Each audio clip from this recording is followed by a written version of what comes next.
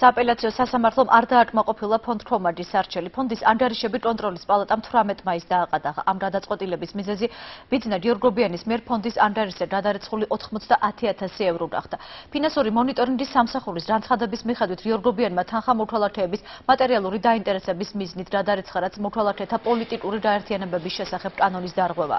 გიორგობიანის ადვოკატმა სასო ბარათაშვილმა სასამართლო პროცესზე იმ დოკუმენტაციის შუამდრომლობა დააყენა, რომლის მიხედვით ქრომაჯის ანგარიშზე თანხა არა ფიზიკურმა პირმა, არამედ გერმანულმა ფონდმა აღმოსავლური მედია და საზოგადოებამ გადარიცხა.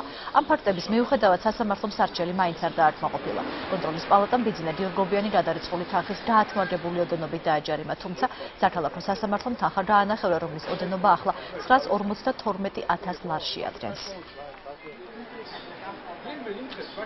საჩვის მოთხოვნები იყო დასაბუთებული. სააპელაციო სასამართლო მოიქცა უსაფუძვლოდ კონტროლის პალატის წარმომადგენელს არ გააჩნდა არანაირი პოზიცია ჩვენი მოთხოვნების გასაბათილებლად. და ბუნებრივია რომ გადაწყვეტილება რომელიც დღეს მიიღო სააპელაციო სასამართლომ გასაჩვენდება ადამიანის უფლებათა ევროპულ სასამართლოში